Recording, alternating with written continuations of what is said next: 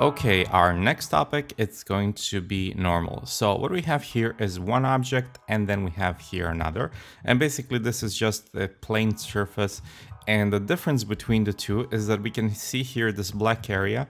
And if we reverse it, then we'll see all the black area and then here our regular polygon. So bas basically what's happening is that this polygon right here, so if I turn the wireframe on, we can see that it's actually reversed, means that this face is looking downwards. So uh, to clarify that even more, we can go to display polygons and then enable face normals. And then you will see these little lines here. And we can also go to polygons and then normal size just to increase that a bit more so that we can see a bit more clearly. So basically what is happening here is that our regular normals painted gray are pointing in one direction and the black one here is pointing in the other. So basically it's just pointing in the direction wherever the gray area is and whatever is black that just means that we have reverse normals. So what does that mean exactly for us? So let's say that I select this area and I select the extrusion and I want to extrude this you will see what is what is happening. Actually, what I can do is just uh, disable the normals for now.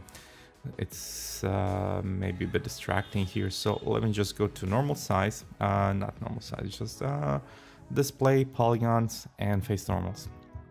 All right, so uh, let's now select this, and I'm gonna select extrude, and I'm gonna extrude this. So basically what's happening is that the extrusion happens in the same direction that normals was point were pointing.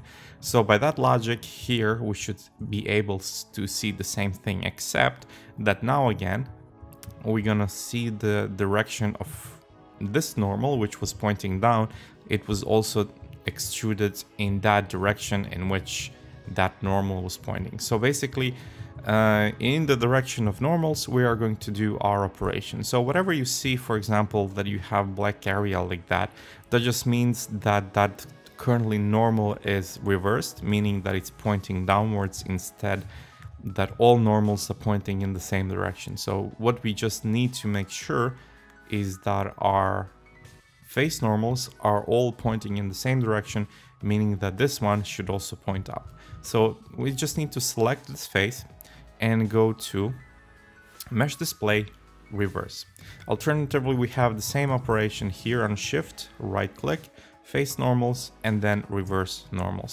There are a couple of more options here, so I'm just uh, go a couple of back. There are a couple of more options here, which are just selected faces, meaning that faces that we selected, and selected uh, faces then extract, or all faces in the shell. So that just means if I hit apply, then it will then uh, do this. And maybe this is uh, what we do not want to do. So I will just reset the settings and keep it on default. Alternatively, also what you can do is if you have this situation, for example, you don't want to go one by one, let's say that you have multiple, what you need to do is just select the object and then go to mesh display conform. This will then properly organize your normals and then all of them are facing in the same direction. We don't have anymore these greens line pointing downwards. And basically, uh, this is uh, when we talk about face normals.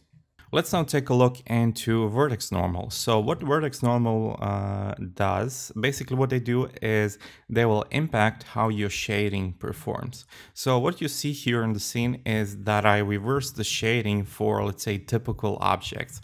So for example, if we load a cube here into the scene, you will see that our typical cube looks like this. In comparison, this one kind of has this strange shading that it looks sort of like very, very smoothened depending on the angle that you look.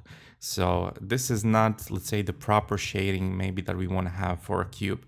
Or let's say here for the sphere, you see that this sphere has very, very hard edges and we do not see that same smooth sphere that we see here which is made by default. So in comparison, we can, we can just put one next to each other and then we will see the difference. So basically what's happening is that both of these spheres have the same number of polygons and the only thing that is different is how the vertex normals are aligned. So again, to see that even more clear, we can go to display, polygons, and then enable this time vertex normals. And also what we can enable is, let me go to polygons and again normal size and I'll just increase the size a bit. So if I now select both of them, you'll see that uh, their normals are very much different. So what appears here is that from one point we have one normal pointing out and what appears here is that from one point we have four normals coming out. So this is now the difference between the two. So we now we can uh, safely, safely say that uh, the normals will affect the shading of our surface. So to check that even more, we can focus, let's say, maybe on a cylinder.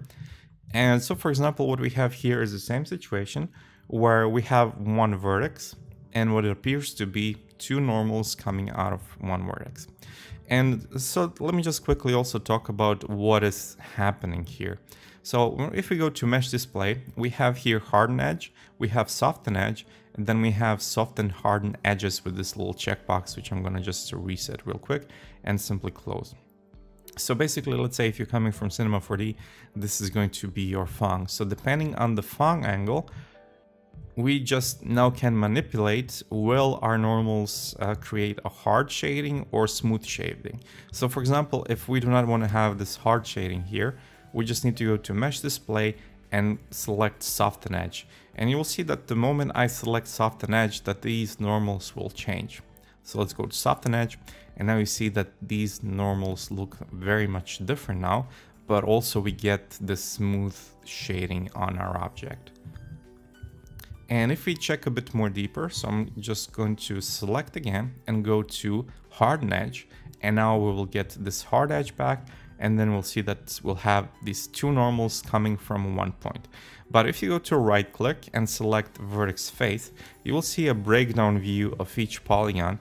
And what it appears to be that one uh, vertex has two uh, normals, it actually comes to this that each polygon has its own uh, vertices and those vertices weren't combined into one point actually all these points when I just selected into one point so let's go to vertex mode you see what is happening they just have it in the same space but actually when you break the view then you can see what it's happening so to see it even more clear what you can do again select these points individually and then assign specific shading to these points. So for example, I can also select all of these points and come to mesh display and select, let, let's say soften edge, and then you will see what is going to happen. So basically what we have here is that these normals are sort of perpendicular on this 90 degree angle to this face, and they're more like even the part so that uh, direction that they look at. So this one is looking here, this one is looking here. This direction is creating this hard edge. If we would to soften it, you would see that these normals will sort of average themselves out. They would be more closer together. So if you go to soften edge, now you see what's happening. That these two normals are now more closer together than let's say these here. So if you go to object mode now, you will see that this area is much more smoother. So it just basically, it appears, it's just illusion of the smoothness here, even though that we have very low poly uh, mesh here. So if I do the same thing for everything, I can go to mesh display and then soften edge. Alternatively, have the same operation on shift, right click, soften harden edges, and then soften or harden or soften harden with a checkbox. And that just simply means that you can set the angle here manually. So let's say 10 or let's say uh, 90 and then depending on the angle, so if I hit, let's say 10, you will see that we will get hard edges back. And you can see that by direction of the normals. And if I hit, let's say 90 or even 45, so let's try 45 and hit apply. And then we'll now see that our normals are again smoothened. Alternatively, also what you can do is a lot of manual work if necessary. So you can come in here and let's say select uh, these two points and then you can go to mesh display and average. So for example, it doesn't work uh, on uh, smooth because with averaging you get smooth results. So what we can do is go to vertex face and let's say go to set to face and set to face will just set to uh, this face and you will get then that hard edge like so. So now we have smooth transition with a hard edge. The only difference now that you maybe notice here, maybe, okay, I can show you with the different examples. So let's go to uh, hard edge. So I'll just harden everything here and let's go to vertex face and I'm going to select these two. And what I'm going to do is go to average. So I'm going to average these normals what and that will give me a smooth result. The only difference here is that you will see that these average normals, which are again uh, smooth shading, will be yellow while these are green. So basically this just means that these normals are currently locked. And you will also have this option here to lock or unlock normals.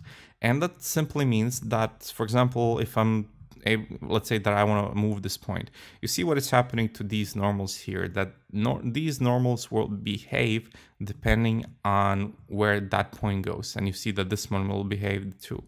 So basically just it's going to move depending on the direction of our points, which will determine the shading, while this one is going to be fixed. So regarding of your movement, you're not going to lose shading here. So for you see that whatever I do here, it will stay still.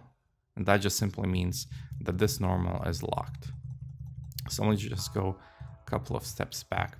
All right, so let's see a couple of more examples. For example, um, let's disable the view for now. I just want to see where, I just want to also, also mention where we will encounter this. So let me just go to um, vertex normals off and let me just go and convert it into soft edges. And for example, let's add here a loop. So let's say I have one here and let's have one here. And what I want to have is I want to have edge loop here in the middle.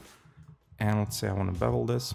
So sometimes beveling will also change the direction of your face normal. So for example, here you see that I did bevel and what happened is that we lost some of the normals here. So you can check also now what's happening if you go to display polygons and then vertex normal. So you see here that here we have soften normals, the soften edges, and that here we have hardened edges. So we can go now to here vertex face and select these and let's say select these and let's go to mesh display and then average and then you can get these normals back or alternatively like anytime what we can do is let me just again display polygons and normal vertex normals turn it off so what we can do is just go and apply soften edge or simply soften harden and give it an angle and that will even it all out same thing it will happen for example if we go to let's say bridge so I want to bridge this. That bridge will also break that smoothness and basically will give you the different normals here on the surface. So again, to even those out, we'll just select the object and then go to soften harden and then soften or simply soften harden with an angle like that. So in some situations we're going to use soften harden and then either 45 degree angle or 30 degree angle. So in this case, 30 degree angle didn't do much. It just helped, let's say, clean up the area, but now we get hardened edges. So maybe we want soften harden and let's try 45. Uh, let's try 45 and now this will give us a softer edges here. Sometimes in some situations, maybe you want to have, let's say, harder edge on specific areas, just so that, let's say, um, let's do an example. So let me just scale this here and uh, scale this here as well.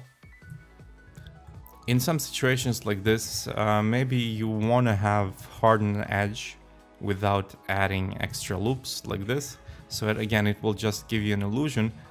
This is not, we're not talking about subdivision preview, we're talking about our regular uh, view that without adding extra loops or extra edges that we are going to get uh, let's say this look that this edge is breaking. So this is with uh, hard edges on specific areas because if we now apply, let's say a soften edge, it will look maybe a bit too soft and then we can just come here and apply, let's say a hardened edge and then we'll get this as a result. So again, this is just an example because in some situations, maybe you would like to have something like that. So yeah, uh, more or less this is it regarding normals for now. And thank you very much for watching and I'll see you in the next video.